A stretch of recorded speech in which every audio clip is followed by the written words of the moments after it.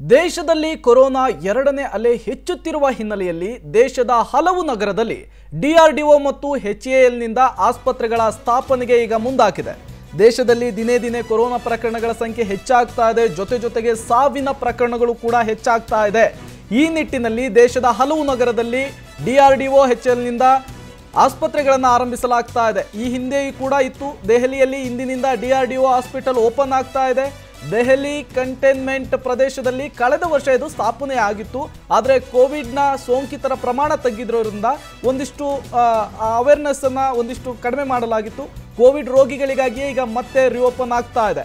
Gujarat, Uttar Pradesh, ಬಿಹಾರದಲ್ಲೂ DRDO ಆಸ್ಪತ್ರೆಗಳ ಸ್ಥಾಪನೆ ಆಗ್ತಾ ಇದೆ. ಎಚ್ ಎಲ್ನಿಂದಲೂ ಕೋವಿಡ್ ಆಸ್ಪತ್ರೆಗಳನ್ನು ತೆರೆಯಲು ಈಗ ತೀರ್ಮಾನವನ್ನು ಮಾಡಲಾಗಿದೆ.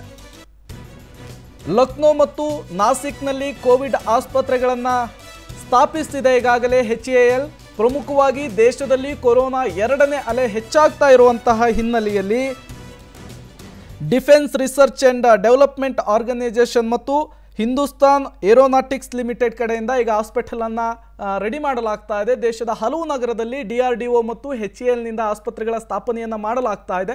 ದೆಹಲಿಯಲ್ಲಿ ಇಂದಿನಿಂದ ಒ ಹಾಸ್ಪಿಟಲ್ಗಳು ಓಪನ್ ಆಗ್ತಾ ಇದ್ದಾವೆ ಯಾಕೆಂದರೆ ಕೊರೋನಾ ಪ್ರಕರಣಗಳ ಸಂಖ್ಯೆ ದೆಹಲಿಯಲ್ಲಿ ಹೆಚ್ಚಾಗ್ತಾ ಇದೆ. ಈಗಾಗಲೇ ಒಂದು ವಾರಗಳ ಕಾಲ ಲಾಕ್ಡೌನ್ ಅನ್ನು ಕೂಡ ಮಾಡಲಾಗಿದೆ ದೆಹಲಿಯಲ್ಲಿ. ಈ ಎಲ್ಲ ಬೆಳವಣಿಗೆಗಳಲ್ಲಿ ಈಗ ಡಿ ಆರ್ ಡಿ ಒ ಮತ್ತು ಎಚ್ ಎಲ್ ಆಸ್ಪತ್ರೆಯನ್ನು ಓಪನ್ ಮಾಡಿದೆ.